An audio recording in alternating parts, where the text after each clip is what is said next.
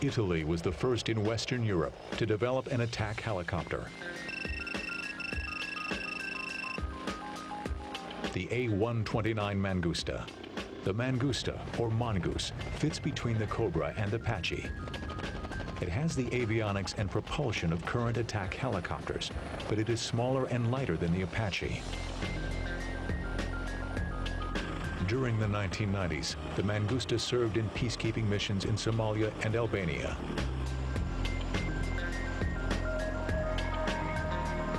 Throughout the 1990s, the Italians modified the Mangusta, culminating in the latest variant, the A129 CBT. The Mangusta CBT has superior avionics and weapon systems. It employs an innovative FLIR targeting system and advanced flight and fire controls.